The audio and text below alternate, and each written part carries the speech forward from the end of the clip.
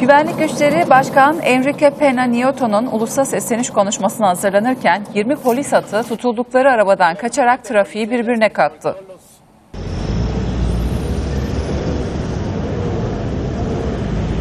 Atlar Meksika şehrinin doğusundaki bölgeden kaçarak şehre geldi. Firari polis atları Meksika Kongresi yakınında toplanan göstericileri kontrol altında tutmak için kullanılacaktı. Ancak Meksika'nın en yoğun caddelerine doğru kaçan atlar araçlara da zarar verdi. Görgü tanıkları atlardan birisinin ticari taksiye çarptığını, yere düşüp tekrar koşmaya başladığını aktardı. Başka bir sürücü ise atlardan birisinin arabasının üzerinden geçtiğini söyledi. Daha sonra yakalanan atlardan 8'inin yaralandığı bildirildi.